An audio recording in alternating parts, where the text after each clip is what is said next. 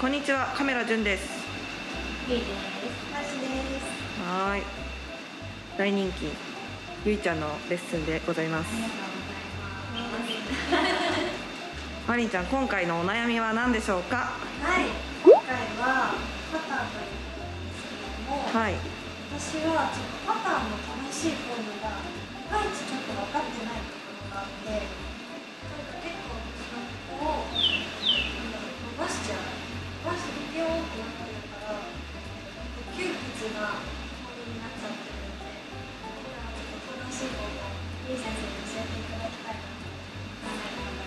ゆい先生お願いします。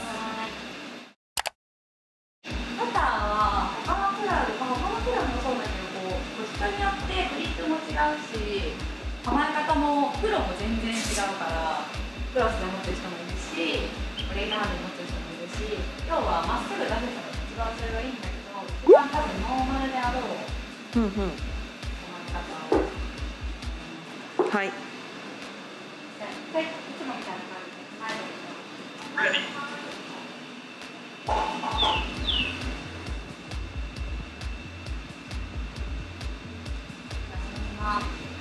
ってみてもらっても大丈夫ですかうんおいいですねお、大事。ジャ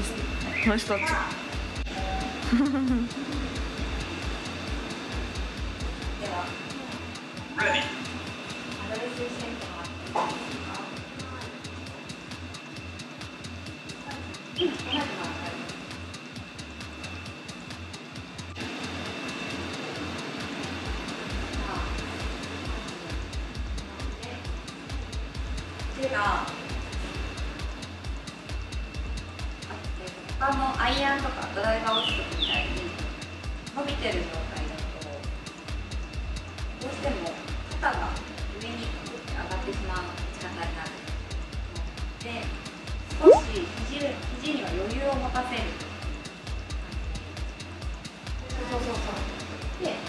地に余裕を持たせる時にこういうふうにならないように気をつけて脇が開いてしまう。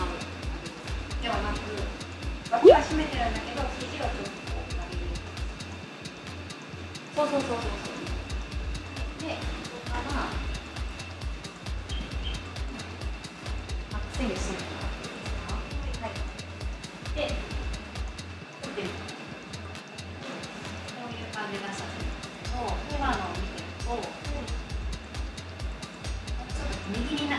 左に流れていってしま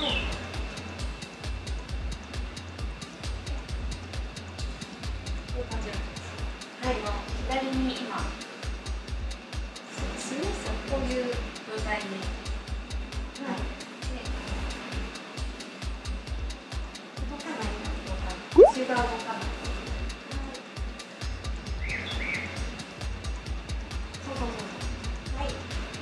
手がまたピーンってなってる 一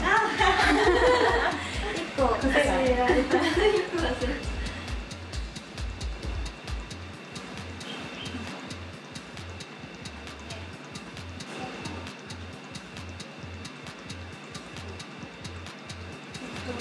緩め手を10緩めると、緩めたを私ケーキマックが取れない。ました、はい。肘を曲げるって言ったらで曲げるときにグリッパーとはあまり緩くしすぎない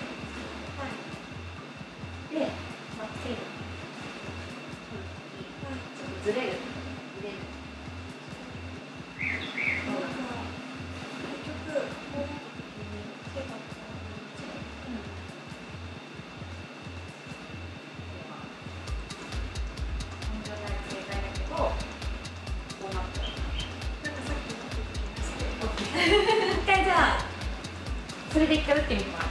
いです。いい感じに見えますけどね。うん。ちょっと伸びすぎるとうん。普通のクラブに近い感じで、こう右左にできちゃったりでボールがまっすぐ転がらない少し肘をこう曲げるこうやって曲げるん。じゃなくて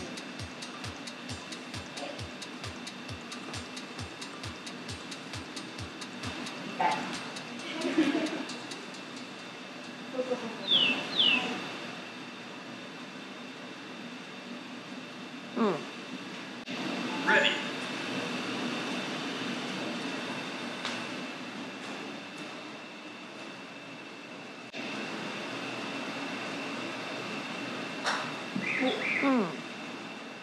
すごい体も全然スレーしてないおお惜し良さげですねい嬉しいあ覚えてないうん。あ嬉しいです。やったありがとうございます嬉しいいい先生ポイントお願いします。ポイントは腕を伸ばしすぎない腕を伸ばしすぎると,、えーと力が入っちゃったり普通のクラブに近い状態になってしまってフェースがこう取れちゃう。ちょっとこう肘緩めて脇締めて肘ちょっと動かさないでちょっとスウェーしちゃうと腰動かないように気をつけるあいいかなと思います。はい。マリーちゃんどうでしたか？はい。えっとスウェーしてるとか自分がまだ知知らなかったというか気づいてない癖だったのでそれは今見つけられてでなんか最後すごい寄ったので ちょっと嬉しい気持ちです結構なんかナチュラルに構えられてたんであよかったですね。はい。結構なんかいつものこれよりも全然構えやすい。うんうん。こっちの方がいいじゃんってなってます。うん。ぜひじゃあやってみてください。はい。ああありがとうございました